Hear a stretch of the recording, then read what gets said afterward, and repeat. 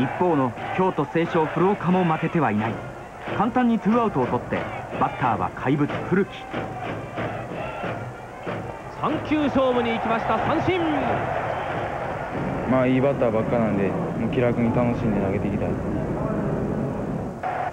しかし古岡もその裏ツーアウト三塁のピンチを招く。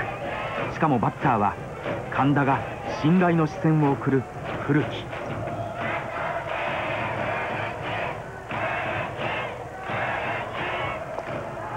外いっぱいストライク。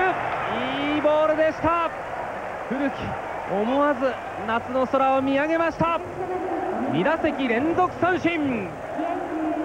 8回黒岡のピッチングは凄まじかった。